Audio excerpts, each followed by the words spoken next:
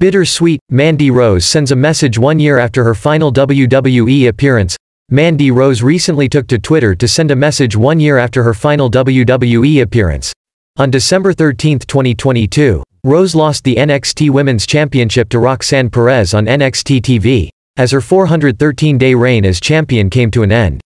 The next day, she was released from her WWE contract due to her FanTime content. Taking to Twitter, Rose recalled her final WWE appearance. She expressed her love and gratitude towards the WWE Universe.